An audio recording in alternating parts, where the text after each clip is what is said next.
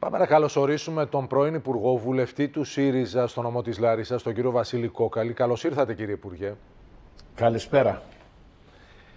Θέλετε να ξεκινήσουμε από αυτό, από τα εθνικά θέματα για να κάνουμε τη γέφυρα ή να πάμε στο θέμα της ημέρας που είναι η εκλογή της Προέδρου της Δημοκρατίας; Όπως θέλετε. Ε, πάμε στα εθνικά θέματα για να κάνουμε γέφυρα γιατί και εσείς σε αυτό το μικρό βίο που είχε στην περιοχή μας ο στρατηγός Φλόρος, τον γνωρίσατε, μιλήσατε μαζί του. Νομίζω ότι όλοι αναγνωρίζουμε τη μεγάλη του αξία. Φαντάζομαι αυτό Σωστά. ξεπερνά τις κομματικές, αν ήταν επιλογή μιας άλλης κυβέρνησης, έτσι δεν είναι. Να το ευχηθούμε καταρχήν του στρατηγού καλή θητεία, να είναι σιδερένιος και καλή σταδιοδρομία. Και ευελπιστούμε και είμαστε σίγουροι ότι θα εκτελέσει άψογα τα καθήκοντά του. Έτσι. Λοιπόν, τι γίνεται με τους Τούρκους; Γιατί βλέπουμε να συνεχίζεται, να μην καταλαβαίνουμε Κύριε Πολύζο, δυστυχώς η προκλητικότητα των Τούρκων συνεχίζεται. Το θέμα είναι εμείς ως χώρα, εμείς ως Ελλάδα, ποια είναι η πολιτική, ποιες είναι οι κόκκινες γραμμές τις οποίες οφείλει να τηρήσει η γείτονάς μας η Τουρκία. Το ποιες είναι κόκκινες γραμμές, αυτό πρέπει να το πούν όλες ή η πλειοψηφία όλων των πολιτικών δυνάμεων. Πρέπει η κυβέρνηση να αναλάβει συγκεκριμένες πρωτοβουλίες, διπλωματικές πρωτοβουλίες, να μην είμαστε ουραγοί των εξελίξεων. Κανείς δεν χάρηκε που δεν προσκλήθηκε η Ελλάδα στη διάσκεψη του Βερολίνου, κύριε Πολύζο. Κανείς δεν χάρηκε. Να θυμίσω όμως ότι πριν δύο χρόνια συμμετείχε η χώρα μας εκπροσωπούμενη από τον Αλέξη Τσίπρας στην, σε παρόμοια διάσκεψη για τη Λιβύη. Οφείλει η κυβέρνηση να κινητοποιηθεί πολύ πιο γρήγορα και απαιτείται, και αυτό νομίζω όλες οι πολιτικές δυνάμεις το δείχνουν, ένα αραγές εθνικό μέτωπο. Μάλιστα. Τώρα, ε, εσείς καταλαβαίνω ότι είστε πρόθυμοι στις πρωτοβουλίες αυτές της κυβέρνησης σε εθνικό επίπεδο, στο διπλωματικό δεν μπορείτε εκ των πραγμάτων. Αλλά να είστε παρόντες, συμμέτοχοι, αυτό καταλαβαίνω. Πάνω απ' όλα απαιτείται συνεννόηση και ενημέρωση όλων των κομμάτων. Αυτό που, το οποίο ξεκίνησε ο Πρωθυπουργός ο κ. Μητσοτάκης πρέπει να το συνεχίσει, να ενημερώνει τους πολιτικούς αρχηγούς, όχι μία φορά το χρόνο κύριε Πολύζο, όχι μόνο επικοινωνιακά, όχι μόνο για να καλύψει τα φώτα της δημοσιότητας, αλλά και στην ουσία να ενημερώνει τους πολιτικούς αρχηγούς και νομίζω ότι θα το κάνει για όλες τις εξελίξεις οι οποίες τρέχουν και έχουν σχέση με την Τουρκία. Μάλιστα. Λοιπόν, πάμε να δούμε τι σηματοδοτεί η εκλογή γυναίκας για πρώτη φορά στην Ελλάδα, στην Προεδρία της Δημοκρατίας, αλλά και μια επιλογή που καταλάβαμε και από την τοποθέτηση του επικεφαλής σας, του κυρίου Τσίπρα την προηγουμένη εβδομάδα, που δεν θα μπορούσε να πει όχι ο ΣΥΡΙΖΑ, αλλά ε, το ναι υπόθηκε με πολλούς αστερίσκους εκείνη την ημέρα στην δημόσια δήλωση του κ. Τσίπρα.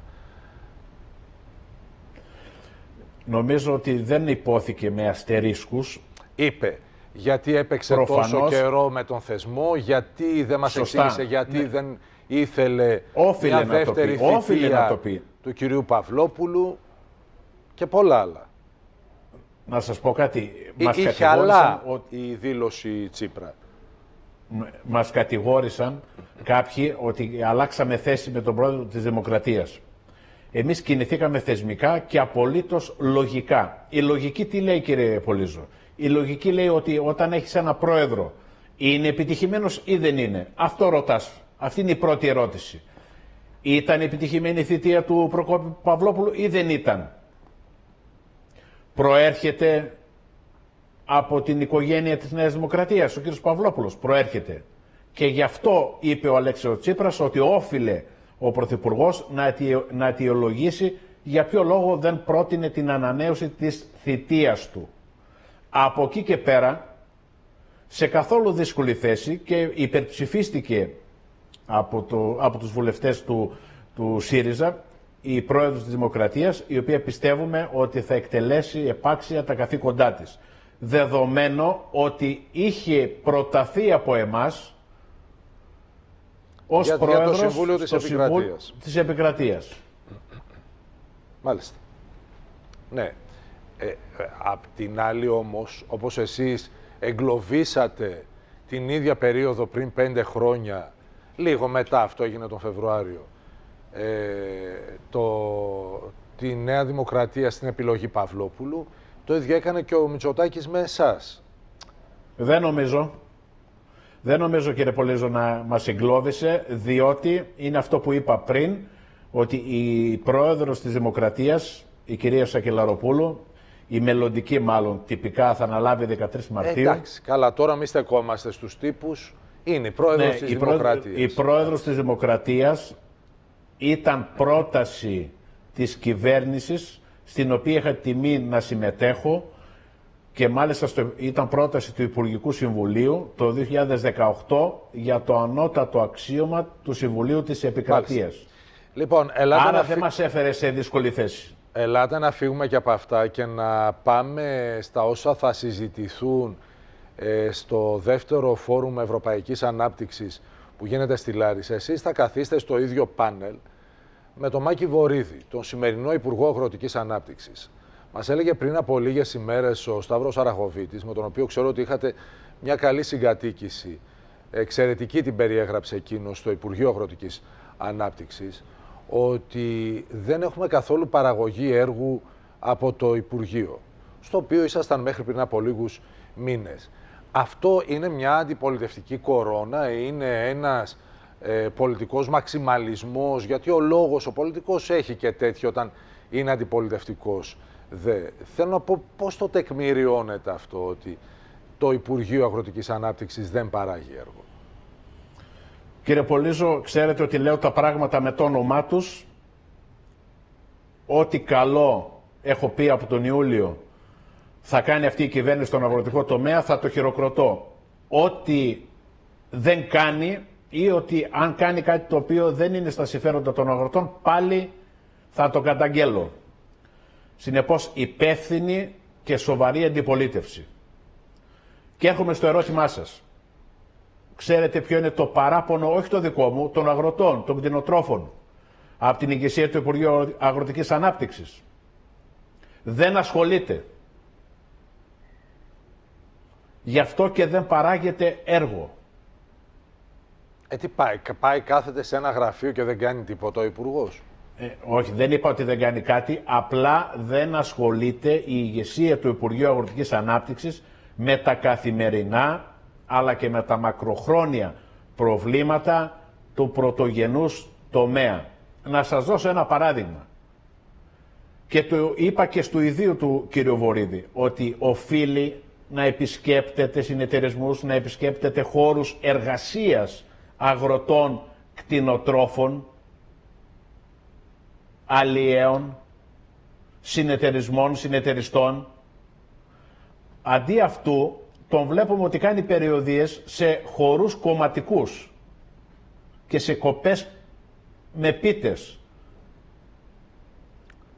Είπε την πίτα θα Οπότε την πληρώσει. καταλαβαίνετε- Είπε για την περίφημη πίτα που κατήγγειλε ο ΣΥΡΙΖΑ, ο κ. Ζαχαριάδης, ότι θα την πληρώσει από την αποζημίωση που πήρε από τον ε, Πάνο Καμένο ή θα πάρει από τον Πάνο Καμένο. Κύριε Πολύζο, Φαντάζομαι ε- είναι έχει να πραγματική- κάνει ο υπενιγμός με αυτή την πίτα των 12.000 ή με την πίτα που πήγε στη Νέα Δημοκρατία της Καρδίτσας και Ε, έκοψε. και με τα δύο. Και με Και τα με δύο. τα δύο. Καλά Μάλιστα. κάνει, είναι επιλογή του να κινείται ο κάθε πολιτικός Καλά όπως τώρα θέλει. όμως, γιατί με τσιγκλάτε και εσείς φέρνετε στην Ελασσόνα τον κύριο Βίτσα και τον κύριο Ραγκούση κόβουν πίτα, στον ΣΥΡΙΖΑ της Ελασσόνας. Νωρίτερα πάνε στον Τύρναβο, για το Σάββατο μιλώ. Εντάξει, Εμείς είμαστε στην συ- αντιπολίτευση όμως κύριε συμβαίνουν αυτά. Πολύζο. Ε, εμείς είμαστε στην Ε, αντιπολίτευση. καλά, Και εσείς επειδή ως είπαμε για υπουργός κοπή πίτας, δεν πηγαίνατε σε κομματικές συναισθιάσεις; Όχι, α- ακούστε, και εννοείται ότι πρέπει να πάει ένας πολιτικός. Αλλά πάνω απ' όλα οφείλει να επισκέπτεται και να πηγαίνει σε εκδηλώσεις, σε συγκεντρώσεις ανθρώπων που έχουν σχέση με τον αγροτικό και τον κτηνοτροφικό Να μην αγνοεί, τομέα. λέτε, εκείνους, να πηγαίνει και στα δυο. Έτσι, δεν θα το υποδείξω Μάλιστα. εγώ Εντάξει. που θα πάει και τι θα Κατάλαβα. κάνει, για όνομα του Θεού. Ωραία. Αλλά επειδή είπαμε για κοπή πίτας, κύριε Πολύζο, να πούμε ότι 12 χιλιάρικα που κόστησε η κοπή πίτας, 12 χιλιάρικα, 10 χιλιάρικα είναι το ετήσιο εισόδημα αρκετών Ενός νοικοκυριού. συμπολιτών μας. Έτσι. Αυτό Και είναι αλήθεια. δόθηκαν για μια κοπή πίτας. Λοιπόν, ελάτε τώρα να δούμε πού υστερεί, τι δεν συνέχισε από αυτά που βρήκαν από εσάς, ως πρίκα το πούμε, έτσι. Καταρχήν θα επαναλάβω αυτό που είπα στον ε, Κώστα το Σκρέκα το Σάββατο στο, στην κοπή επιμελητήριο. πίτας Το στο, στο επιμελητήριο επιμελητήριο. του της επιμελητηρίου. Λάρισσας, ναι. Σωστά. Να συνεχίσει το έργο το οποίο κάναμε στο Υπουργείο. Και θα το χειροκροτήσουμε. Έγινε η διαπαγγελματική Συγκεκριμένα, φέτας. ε, θέλω να σας Έγινε- ρωτήσω και για τα κομματικά σας. Υπουργέ μου, συγκεκριμένα, βάλτε μου Έγινε η πέντε διαπαγγελματική τίτλους. φέτας. Ναι. Κύριε Πολύζο, έγινε διαπαγγελματική φέτας. Θετικό. Θετική ενέργεια. Είχε ξεκινήσει επί δικιάς μας διακυβέρνησης. Ωραία. Τη Άλλο. χειροκροτάμε. Άλλο. Οφείλει να προχωρήσει την πολιτική μας στη φαρμακευτική και βιομηχανική κάναβη. Οφείλει να δώσει κίνητρα φορολογικά στα μέλη των συνεταιρισμών. Να ενισχύσει τους υγιείς συνεταιρισμούς, κύριε Πολύζο.